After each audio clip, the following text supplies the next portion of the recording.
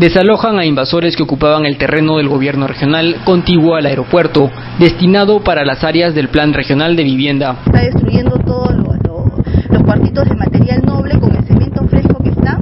Eh, la gente está ahorita este, mirando de manera tranquila, este, esperemos que no que entiendan de muy buena manera de que ellos tienen que retirarse y espero que en la tarde o mañana no vuelvan a ingresar. Toda el área detrás y al costado del aeropuerto Carlos Siriani está ocupada desde hace un año, justo el tiempo en que se dio la concesión del mismo.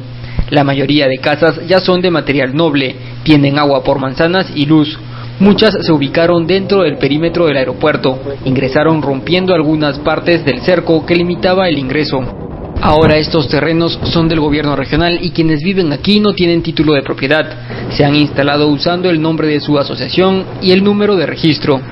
El desalojo se desarrolló en la parte más cercana al aeropuerto, antes de llegar al lugar donde se construirán los módulos del programa de vivienda y donde el día anterior funcionarios de la Dirección de Vivienda fueron agredidos.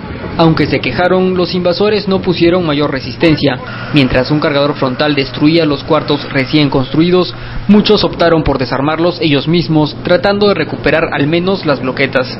La mayoría de invasores llegan aquí escuchando la promesa de los traficantes de terrenos, que les ofrecen un lugar para vivir más barato.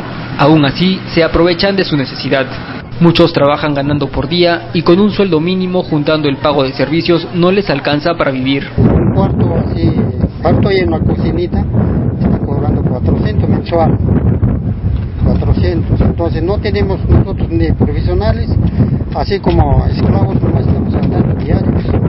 Aunque se aprovechan de ellos, se niegan a dar los nombres de los dirigentes, aquellos que los llevan al lugar a ocupar. Les cobran cuotas de 300 soles, más o menos, dependiendo del trámite que les dicen se sigue por conducto regular. Los engañan y por necesidad aceptan.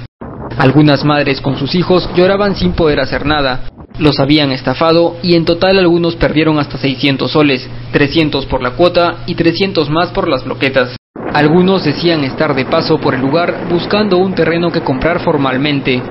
¿Usted también tenía su, terreno? No, no, no, sino que yo venía en compañía para ver cómo es. Pues, queremos hacer trámite legalmente como usted menciona. Pues, sí, solo que demora un poquito, pero... Así a veces es doctor, usted sabe que cuando ya el, aeropuerto, eh, la invasión entra, pues ahí se ponen. A veces uno legalmente hace sus trámites. Lo extraño es que estas personas permanecían después en casas construidas mucho antes, también producto de la invasión. Quienes fueron señalados en algún momento como dirigentes por las personas desalojadas se negaban, decían solo pasar a ver lo que sucedía.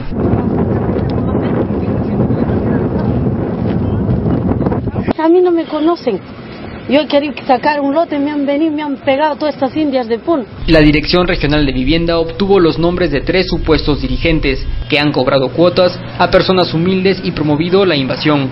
Se tomarán en cuenta para ser investigados, pues este desalojo es solo el inicio de una serie de acciones que tendrán que tomarse para recuperar los terrenos destinados a quienes han pasado un proceso legal para conseguir un sitio donde vivir.